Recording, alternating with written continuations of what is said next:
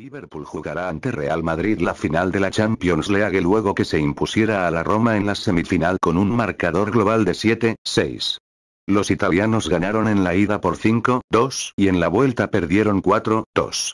Liverpool, que chocará con el Madrid el 26 de mayo en Kiev en la que será su primera final continental desde 2007, estuvo en ventaja dos veces pero terminó sufriendo con la levantada final del equipo italiano. Lamentablemente, nunca hacemos las cosas fáciles, dijo el capitán del Liverpool Jordan Henderson. Fue un esfuerzo increíble.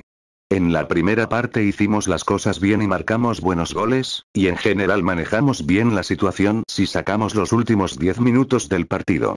La tarea del Liverpool parecía bastante clara. Evitar una derrota por tres goles para asegurarse el pasaje a Kiev. Su victoria 5-2 en la ida en Anfield era una ventaja amplia, pero la eliminación del Barcelona en la capital italiana tras una goleada en la ida era un recordatorio contra la complacencia.